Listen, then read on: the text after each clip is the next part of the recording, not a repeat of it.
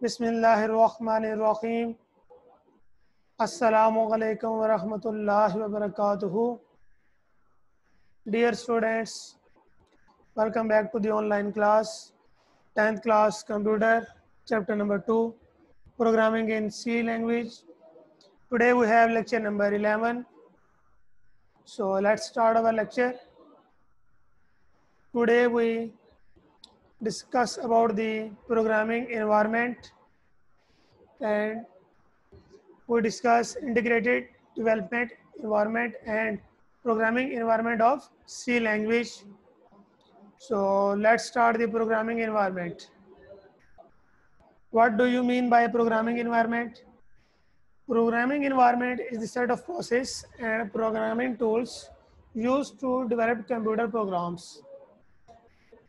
In past, some programmers use the different programming tools. Let's suppose they use the editor, compiler, linker, debugger to make a single program.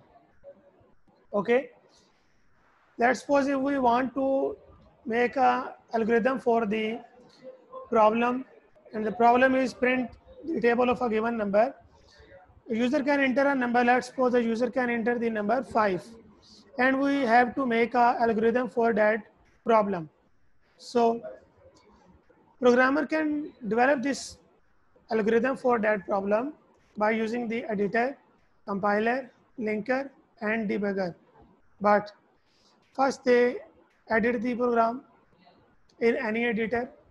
Then they use the compiler for compiling the program. Then they use different types of linker and then debugger for making a single program. So it means in the past, they faced many difficulties to program a single problem.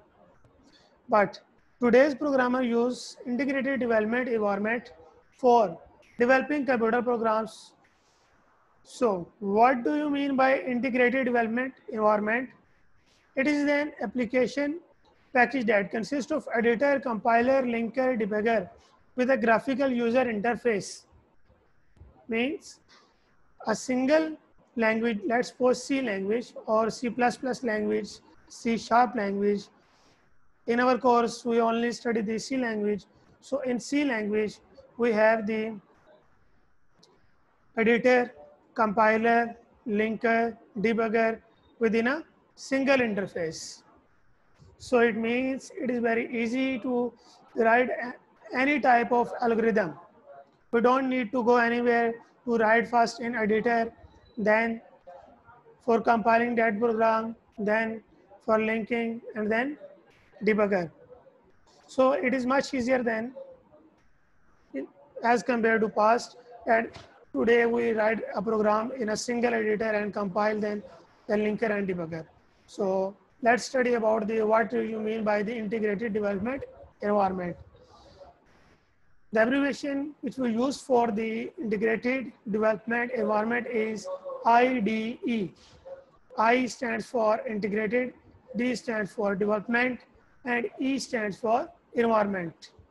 So most of the new programming languages use IDE. So it means we can write a program in IDE. So we can create, compile, and run program with within a single interface. We don't need to go anywhere. So IDE computer program software that brings all the processes and tools required for program development in a into a one place. Okay, and also IDE provide us a user-friendly interface means graphical user interface GUI. As we know that learn in the ninth class computer science book chapter number two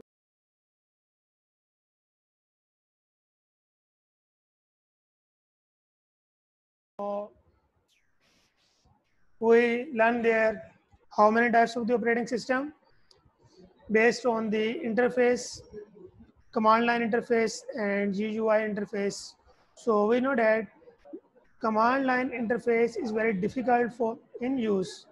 We need to remember the commands for different purposes. But when we have the GUI, graphical user interface, so it is very easy to use. So IDE also provide us GUI, graphical user interface. And in this interface, we can write a program in a very easy and efficient way. And we can also remove our errors in the program. Okay, our next topic is programming environment of C language. A C language IDE consists of the following modules. Module means, as we know that learned in the previous lectures, what do you mean by modules?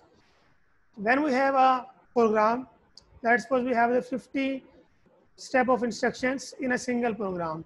So we can divide the 50 step of instructions into different parts.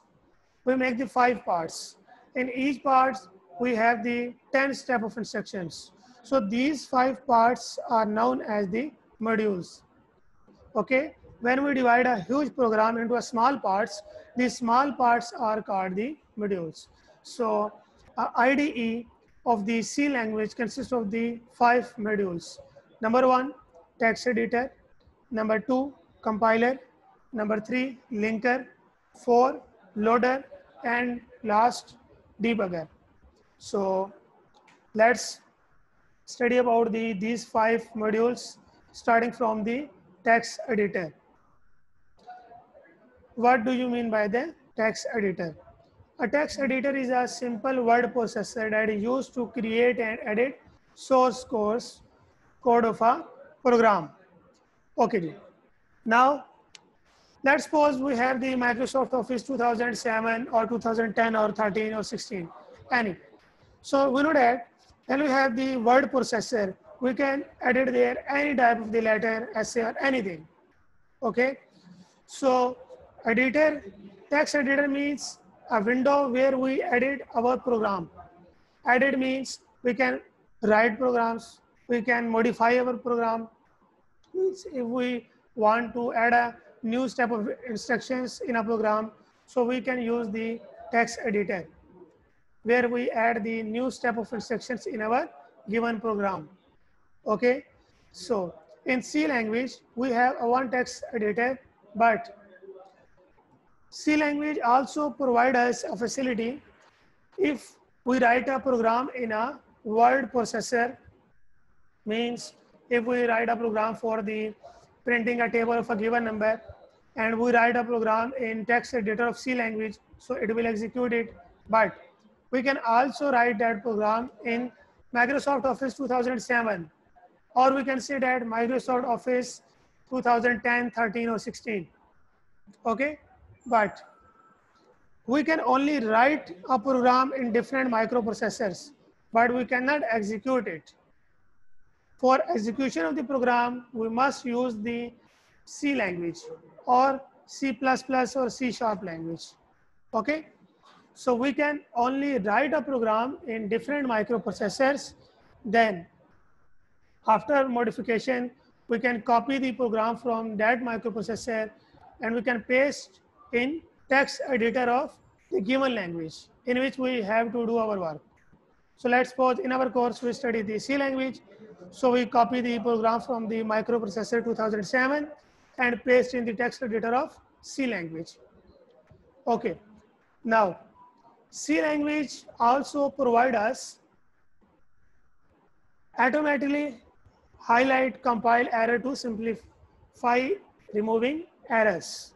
Okay. In C language, when we write a program, it highlights the different words and when it highlights the different words and errors, it is easy to remove that error. Let's suppose we have the 20 step of instructions in our program and we done a mistake on the line number 10 and line number 15. So some of the text editor provide us facility that when we done the mistake the text editor highlight that mistake. So we can easily remove that mistake from the text editor.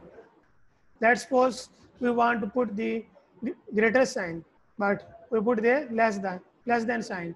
So it will highlight. Okay, now this is the interface of the C language and this area is known as the text editor. Okay, now this area is known as the text editor. And in this area, we write our required algorithm or program. Okay, let's suppose if we want to write a program for factorial. So in this area, we only write a program for the factorial. As in this picture, we know that right here include conio.h, void main, void, curly bracket, character, operator, semicolon, float. This is the small program which we written in the text editor. And as we know that the text editor also highlight the some part of the program means here it highlights this okay and in next step it highlights this and these steps. Okay. Now in this text editor we have different colors of highlighters. Means one is green one is black and red. So these highlighter colors green black red have the specific meaning and specific reasons behind these highlighter. But in our today's lecture, we don't discuss about the what they mean by the green color, red color, and black color. But in our next lectures, we will discuss about these highlighters, why it highlight in the green color or in the black color or in red colors. Okay. So today we only discuss about the that in the text editor, we have we can write a program and text editor can also highlight our programs in into different colors. Let's suppose as we see here, it highlights in green color. Okay. And when we start our program, it write the code in the black color. And then in the small brackets, it highlights it with red color. They have the specific meaning why it highlights in the red colors. But, but today we don't discuss about them. In our next lectures, I will teach you why the text editor highlight in green color, in red color, or in black color. Okay, so let's start to the next slide. Our next module is compiler. Okay, as you know that, what do you mean by the compiler? Define compiler. In our previous lectures, we know why we use the compiler. Okay, compiler is a computer software that translate the C language program to the machine language program. Okay, because we know that computer cannot understand a program which is written in the high level languages program because in high level languages program we write a program in English like words, but computer can only understand the binary digits 0 and 1. Compiler is a computer software which we use for translating the high level languages to machine level languages because we know that computer cannot understand the high level languages. Computer can only understand the binary digits 0 and 1. So that's why we use the compiler. And here Compiler is the computer software that translates C language program means source program into the machine code. Object program in our previous lecture, we also plan about the what do you mean by the object program or what do you mean by the source program. Okay. Why compiler translate into object program? Because computer can only understand the object program and the object program is stored with the extension of .obj and source program of the C language is stored as extension with C. Okay. And compiler also detects the syntax error in the source program. And if it finds the some error in the source program, it will give us the hints to correct them. Means if we have the error in the line number 10, so it will give us the hint for correction of that error. Okay, ji. now let's see this picture. First of all, we have the source program. Let's suppose we write a program from the printing a table of the number when a user given a number and then compiler software translate that program into object program and object program transfer to the linker. Now, what do you mean by the linker software? Now, let's study about the linker. Okay. So linker is a software that translates the object program into a single executable program. Okay. Now, when we write the object compiler translate into the object program, we don't understand the object program.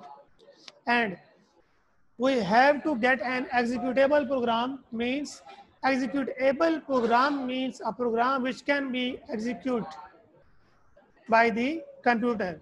So we need a single executable program. So during this process, if it could not find the definitions of a particular function that is used in the program, then it would assume that it is defined in C library and it will replace this function in the object program with the code from C library and then create a single executable program. As we see here, first of all, we have source program. Then we have compiler software, which compile the source program into object program. Then object program goes to the linker. Linker software make it the a single executable program. So if we write anything in a source program and linker cannot find the definition of that statement, then linker thinks it is the C library function. So it goes to the C library function and then it made it the executable program. And what is the extension of the ex executable program? Let's suppose we have the program named Shaban. Okay, so it stores shaban.exe. exe means it is the executable program. Okay, let's take another example. Let's suppose we buy a CD of the Microsoft Office 2007. So when we buy a CD of Microsoft 2007, so we install into the computer from the setup. Then we install it into the computer and from which icon we double click and open the microprocessor that icon okay so a shortcut on our desktop when we, we double click on that icon we will open the microsoft office that icon have the extension .exe and that icon have the executable program. Okay. Now loader. Loader is a software that loads program into the memory and then execute them. When we linker made the single executable program, then it transferred to the loader. Loader load the program into the memory for execution of that program. Simple. Okay. Now debugger. Debugger is software that execute a program line by line Okay, if we have 50 lines, is execute one line, two line, third line, line by line, and examine the values stored in the variables and helps in finding and removing error in programs. Okay, if we have the error, so it will tell us what is the error in, in that program. But all these steps, when we write a program, we only press a single digit, okay, F5, and it will execute a program within a nanoseconds. Within a nanoseconds, all the process, compiler, loader, linker, debugger, all the process will be done in the nanoseconds within approximately one second. बहुत ज़्यादा भी करें तो one second. Within a one second, it will give you your required results. Okay, this all the process done in within a nanoseconds. Okay, now if you have any problem or question related to today's topic, you can ask me for help.